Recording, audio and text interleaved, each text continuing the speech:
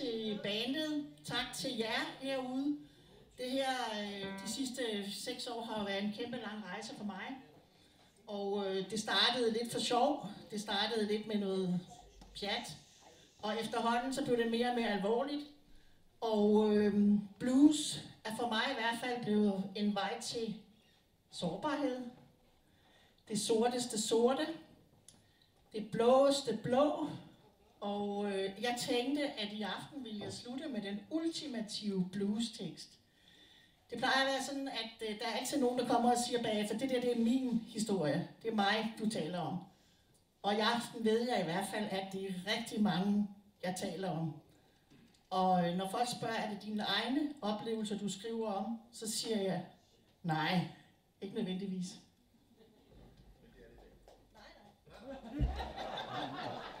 Måske, det ved man ikke, men det er i hvert fald nogens oplevelse.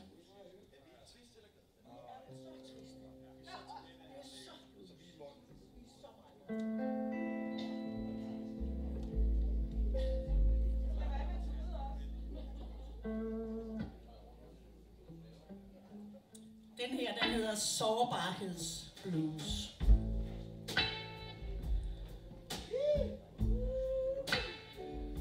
Tak, Jimmy. På en trist dag er alting sort. Når ensomheden banker på, livet føles ikke særlig stort, når håbets farve bliver blå. Men her fatter jeg penge, bor ned i bundens rod. Jeg tænker på bedste vennen og skriver mig frem til et mod. Når længslen efter nærhed presser på og gør mig svag, så kan selv min allermindste særhed få mig til at bære nag.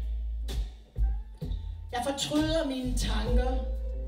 Jeg fortryder mine ord. Jeg fortryder mit liv.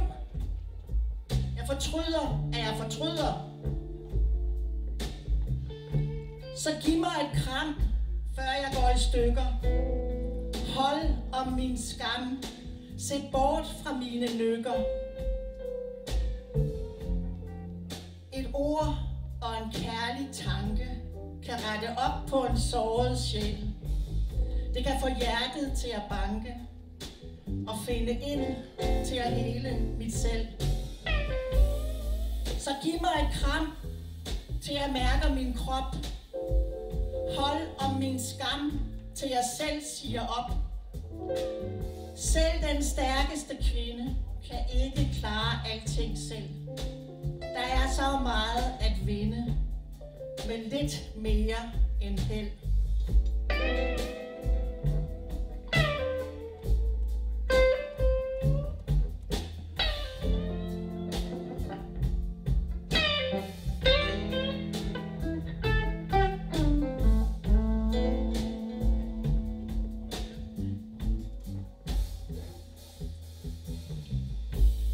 Damer og herrer, det var Marianne Christensens sidste spoken word til blues. Jeg ved, at øh, mange af hendes digte og øh, blues tekster kan findes på biblioteket. Man kan købe dem, hvis man øh, kontakter hende. Og øh, så er de også bare i universet. Ikke? Marianne, stor tak til dig. Giv en kæmpe hånd,